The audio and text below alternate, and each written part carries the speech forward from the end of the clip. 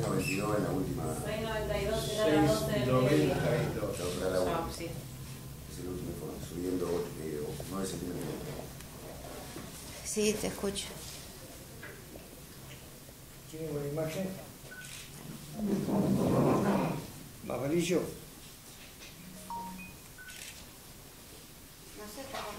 Si llega a entrar Camilo, hacelo sentar al, al segundo ministro. Si llega a entrar en el medio de la conferencia de prensa, hacelo sentar también. Por acá o. ¿eh?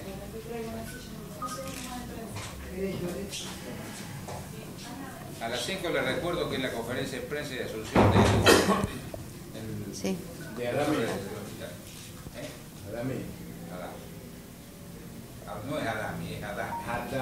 Muy bien, gracias. Eh, estamos en el despacho del intendente municipal.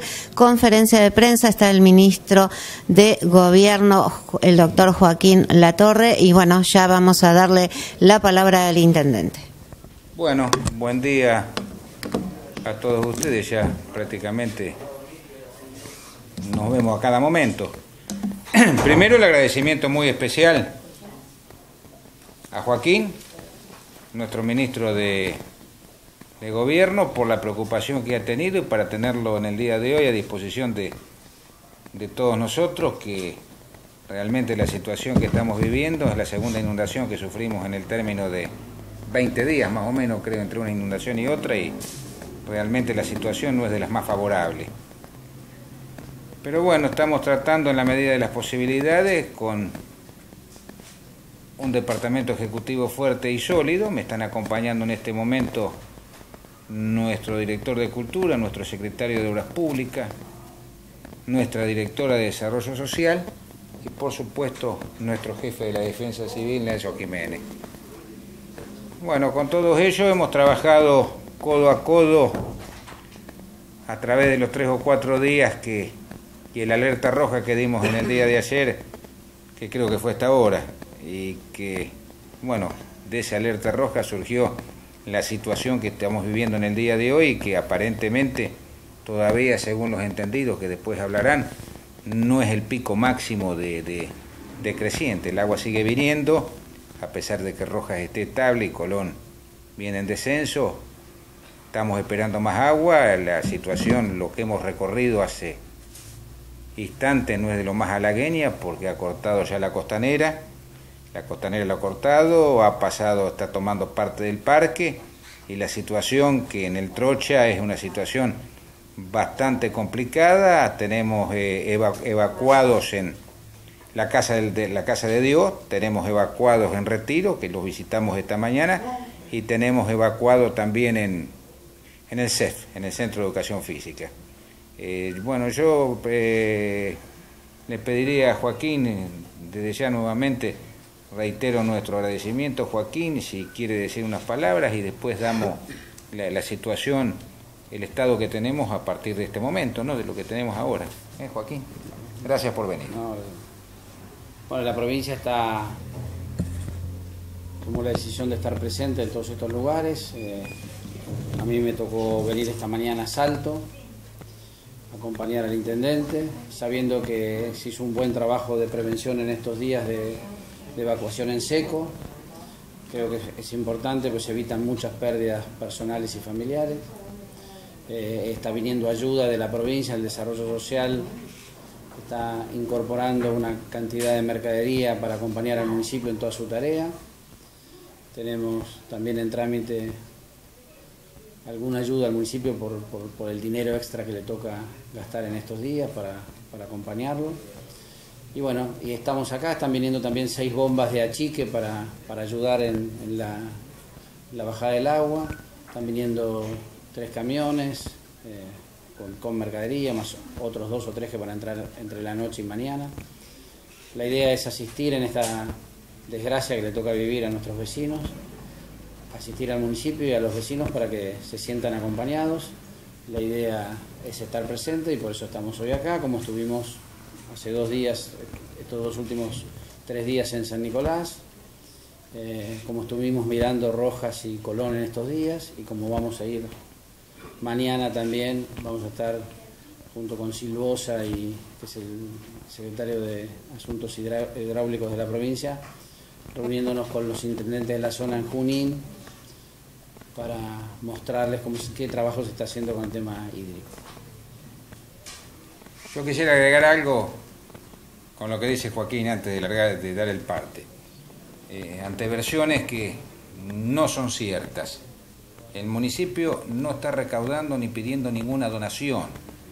Quiero decir esto porque en el día de ayer alguna persona interesada en lucrar con cosas que no tiene que lucrar estaba pidiendo dinero para los inundados. Bajo ningún punto de vista, los inundados están siendo atendidos por el municipio, siendo eh, dándole el municipio le está dando toda la lo que corresponde agua, leche, eh, dándole la, la, mercadería necesaria y dándole la comida necesaria para que puedan para que puedan vivir.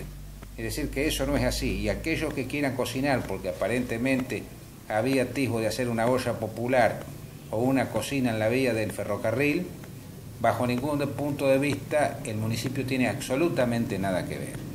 Lo que le pedimos a aquellos que están, aquellas ONG que han colaborado en el día de ayer y que siguen colaborando, que sigan colaborando con nosotros porque nosotros de alguna manera estamos asistiendo a todos los inundados que, eh, se, que se encuentran en alguna situación bastante comprometedora. ¿eh? Eso es importante y... A ver, habla, habla querida. Eh, más allá de todo lo que están asistiendo ahora en esta situación de emergencia, ¿no es cierto? Una emergencia que aparentemente va a seguir por lo que estamos viendo ¿no es cierto? ¿Ya se está implementando algún estudio o algo como para ver qué es lo que está pasando? Porque es lo que el vecino quiere saber. Hace 15 días se reunió la, hubo reunión de Cuenca en, Pergamino eh, y, se quedó claro cuáles eran las obras a realizar, hay que buscar financiamiento. La provincia de Buenos Aires ha tenido ha comenzado este año, este año, perdón, el año pasado 2016 ha comenzado más obras hidráulicas en la provincia, se han comenzado que en los últimos 12 años. Todas al mismo tiempo, con velocidad no se pueden hacer porque la plata es finita, o sea, hay un número. Eh, después de lo que pasó en de lo que pasó durante todo el año, tomamos la decisión de ir a buscar financiamiento para las obras que tienen que ver con la cuenca de eh, del, río Arrecifes Alto que pasa por acá. Eh, nosotros calculamos que si Dios quiere, durante todo el 2017 vamos a trabajar en esto para poder empezar eh, obras definitivas que solucionen gran parte de los problemas durante fines del, fines del 2017 para, tener, para empezar a trabajar ya fuertemente en el 2018. ¿Se puede adelantar esto? Sí, se puede adelantar, depende de justamente conseguir financiamiento para alguna de las otras obras que han empezado. Eh, hay, obras que se han hecho hidráulicas en toda la provincia, en distintos lugares, se, avanzó mucho con la de La Plata, que estaba parada, se avanzó mucho con las de Lomas, que estaban paradas, se avanzó en la cuenca del, Luján, del Areco. Bueno, eh, desgraciadamente son muchas las obras que hay que hacer, en función de, lo que nos hizo en su momento. Y bueno, hoy, hoy nuestra responsabilidad es, cuando nos vayamos, haber avanzado en todas estas obras que tanto afectan a la gente y que tanto le afectan los últimos 30 o 40 años. Que son obras que por su magnitud le corresponden a la nación o a la provincia y no a los municipios, eso lo quiero dejar claro, y que además en muchos casos tienen que ver por ahí con provincias vecinas. Eh, intendente, ha habido versiones esta mañana, estuve mirando redes sociales, con respecto al agua potable. ¿El agua está apta para consumir? Nosotros hasta el momento, yo no diría el agua de pozo o el agua que está cerca de las, de las partes inundables. Lo que yo tengo de mi directora de servicios sanitaria, que el agua está en perfectas condiciones, los clorinadores están actuando a full y los pozos de agua están muy lejos de la, de la parte inundable. Así que eso sigue funcionando normalmente. Yo quería aclarar otra cosa también con lo que dice eh, el ministro de Gobierno, eh, con lo que dice Joaquín. Y quería aclarar otra cosa. Nosotros hemos pedido obras para que por lo menos, y ya se los dije a ustedes, los canales aliviadores sobre el puente de la Ruta 32, ahora pedí una limpieza de, acacio negro que hay alrededor de 800 mil metros que hay sobre la, la vera del sobre la, la- del río desde Locucó Locucó hacia el Trocha incluso lo están pidiendo lo recogimos de los vecinos de, lo recogimos los vecinos en el día de ayer cuando caminamos casa por casa tratando de haciendo el eh, haciendo el, censo y mirando la, situación de la gente y hemos pedido también que me dijeron que lo dé por hecho la, la, la, sacada de la pasarela chica para hacer una pasarela mucho más grande. Y vamos a pedir también, eso lo vamos a organizar con el intendente de Recife, al cual no le queremos tirar el agua y hemos hecho un, un pacto entre él y, y el intendente de Roja, de que desaparezcan las, dos la- la- las dos eh, esclusas que hay entre Salto y Arrecife, la de la estancia La Merced y, bueno, no me acuerdo, y, y la estancia San Martín. Esas dos esclusas que desaparezcan, pero evidentemente, y lo fundamental de todo esto, la limpieza, la limpieza del río Salto. Eso es clave porque lo que vamos a pescar alguna vez en el río Salto, donde había pescaderos que eran de 4 o 5 metros de profundidad, ahora hay 2 metros. Esa, la limpieza es clave. Está muy sucio el río, muy sucio el río, que eso nos va a favorecer. Esto será para minimizar, para minimizar una, una, una, una crecida que tenemos, no para parar 200, 250, 300 milímetros que fueron los que vinieron de arriba hacia abajo. Esta es una aclaración que hago. Cada uno piensa, porque hay gente que piensa que las obras tienen que venir. Son obras chicas, pero son obras que nos sirven. No sé cuál es la obra grande y cuánto dura la obra grande. Nosotros queremos, eh, lo, que quedamos con el, eh, fundamentalmente con la ETA, que queremos obras que, que- que se vean y que nos solucionen por lo menos las crecidas chicas del río, porque cada vez se inunda con más facilidad. Después está todo el otro tema que es para charlar canales clandestinos, eh, trasvasamiento de cuenca, todo eso, que, o, que venga de la, de la- de la zona de Santa Fe porque viene por declive. Pero todo eso está para verse, está para estudiarlo y está para comprobarse. Hay cosas que sí se pueden comprobar, hay cosas que no se pueden comprobar. Pero nosotros eso lo tenemos que lo tenemos que charlar. Nosotros queremos esa pequeña obra para que nosotros podamos seguir viviendo y que el vecino por lo menos tenga medianamente una tranquilidad, porque cada vez que se inunda es una tortura, no de ahora, de todas las otras inundaciones que me pasó. Que pedimos prácticamente lo mismo en las otras inundaciones, que no se cumplió, que exigimos y que no se cumplió. Que nosotros queremos que ahora con el 30% del presupuesto del fondo hídrico que han hecho que han, que han votado los, los- señores legisladores, nosotros creemos que va a venir cosas, van a venir cosas para acá. Por lo menos una media palabra tenemos dado de eso. Vamos a la parte de lo que, que más importante, que es lo que va a decir eh, eh, desarrollo social y de lo que dice la parte estado actual de- del río. ¿eh? Bien, bueno, tenemos sí tres centros de evacuados, este, como dijo Ricardo, eh, el CEF, eh, Retiro, también tenemos la escuela técnica que la abrimos hoy a las diez y media de la mañana, ya tenemos familias ahí. Además estamos asistiendo a algunas familias que ahora se ubicaron en el predio del ferrocarril, este, por cercanías a no retirarse de su casa, todos evacuados en seco, las familias que estamos asistiendo, ¿sí? Suman alrededor de 180, 200 personas, las familias, este, las personas afectadas, ¿sí? Todos están siendo atendidos eh, por el municipio, este, abarcando desayuno, almuerzo, merienda, cena, eh, agua, leche, eh, además también tenemos familias autoevacuadas que si bien las asistimos en el traslado, eh, hoy están en casas de familiares, amigos, vecinos, digamos. Eh, ese número es más o menos alrededor de 150 personas, ¿sí? Eh, la realidad es que es un número grande, pero con la tranquilidad este, de que no perdieron sus bienes, ¿no? Que era un poco lo que decía Ricardo, que están cansados de que de esta crecida del río y de que entre a su casa y de perder sus bienes y de tener que ir y venir, ¿no? Entonces esto en cierta manera da como un poco de, de alivio el trabajo que pudimos estar haciendo. ¿Se necesita algo? Eh, por el momento no, este, no estamos, no estamos nosotros recibiendo donaciones, ¿sí? Eh, sí por ahí vamos a estar necesitando después productos de limpieza y demás, que es lo, lo fundamental, pero que ya lo vamos a ir comunicando a tiempo. ¿eh? Por ahora. Siempre el pedido se va a canalizar por desarrollo. Siempre por desarrollo, sí, sí, sí, vamos a estar manejándonos así.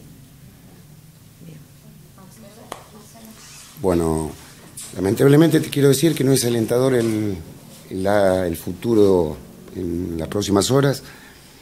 El río sigue aumentando, no vamos a tener pico hasta calculo a la, a la noche.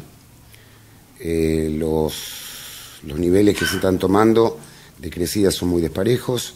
en momentos sube 12 centímetros, a la hora sube 4, pero nosotros estamos monitoreando no solamente el nivel en la depuradora, que es donde nosotros tenemos el, aparato que, mide, sino nos interesa mucho el, puente Unter.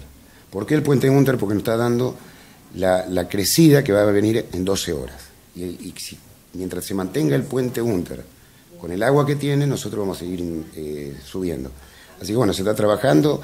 Acá se hizo un plano, el plan de planimetría para juntamente desarrollo con, con Defensa Civil y todo el equipo puede ir evacuando en seco, que la gente cuando se le aconseja que evacúe no sea porfiada, porque se está diciendo por qué se está evacuando. El río sigue subiendo y le, pido, le pedimos a la gente que cuando se le dice haga caso, porque de esa manera va a tener menos daño personal, como dijo el ministro, y a lo mejor menos daño físico.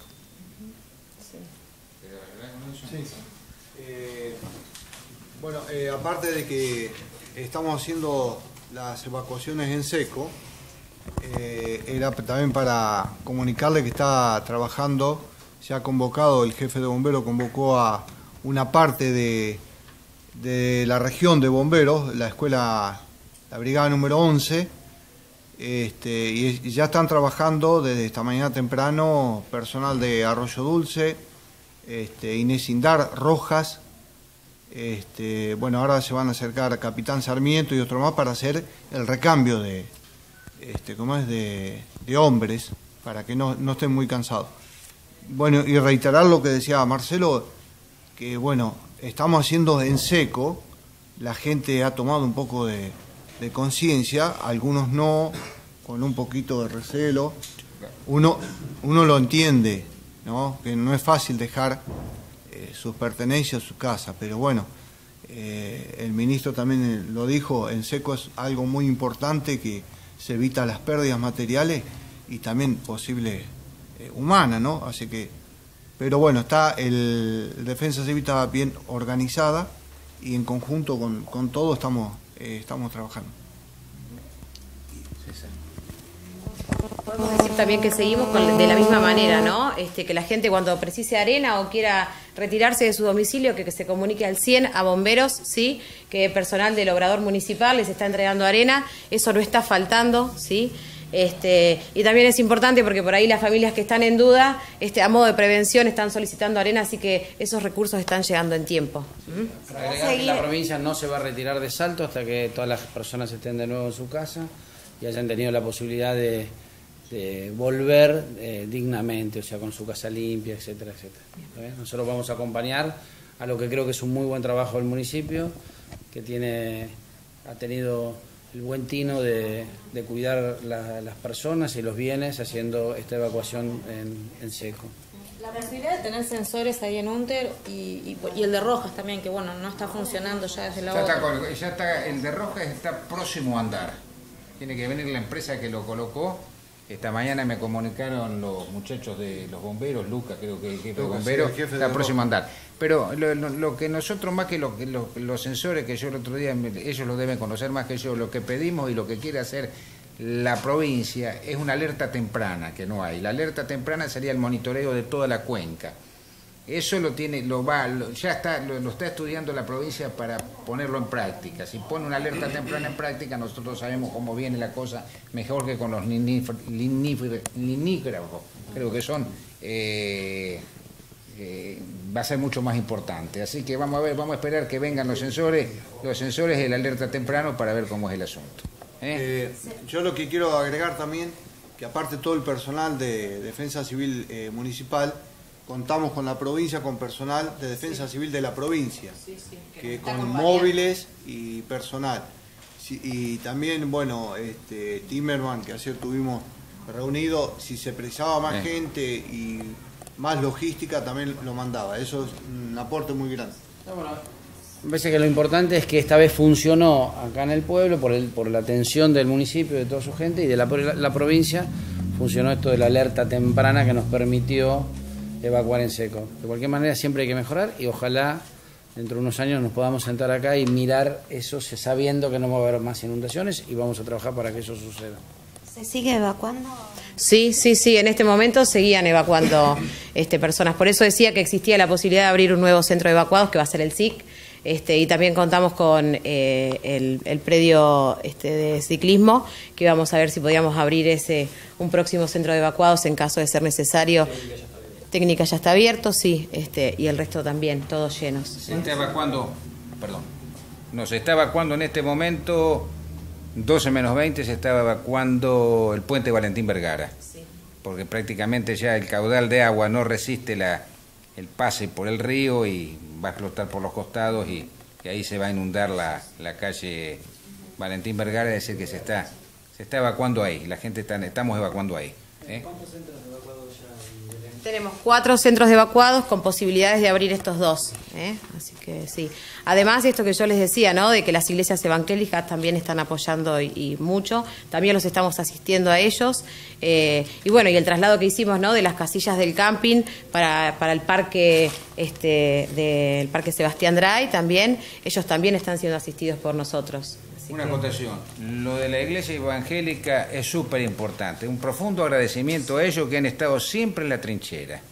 La iglesia católica, por supuesto que también, pero la iglesia evangélica, todas ellas de una u otra manera nos están ayudando para que la cosa salga de la mejor manera posible y están permanentemente, con, están permanentemente en la zona limítrofe eh, monitoreando cómo está la situación.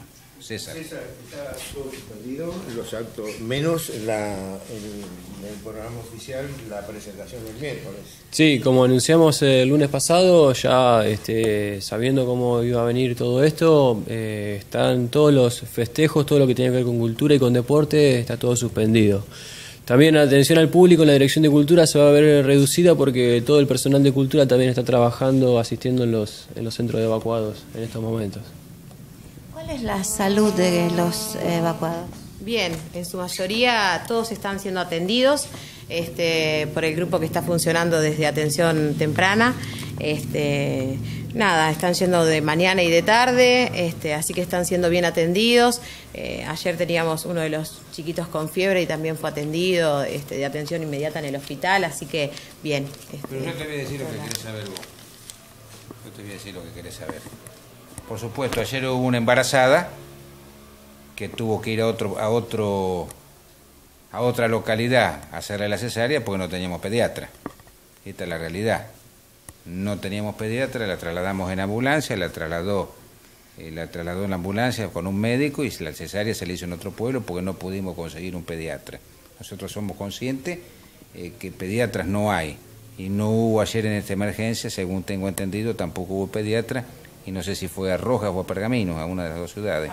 A Pergamino. fue a hacer la cesárea no, no conseguimos pediatra. Nosotros estamos muy esperanzados en el nuevo director del hospital para ver que de una manera u otra, a ver si podemos darle punto final a toda esta odisea que estamos viviendo con las guardias activas, pasivas, con pediatra, con no pediatra. Sabemos que no se consiguen los pediatras, pero bueno, ayer eh, lamentablemente hubiéramos pedido a los señores médicos una buena voluntad ante una emergencia con una con una embarazada de no llevarla a otro pueblo, sino que hubiera sido lindo hacerle la cesárea allá, contamos con todo lo...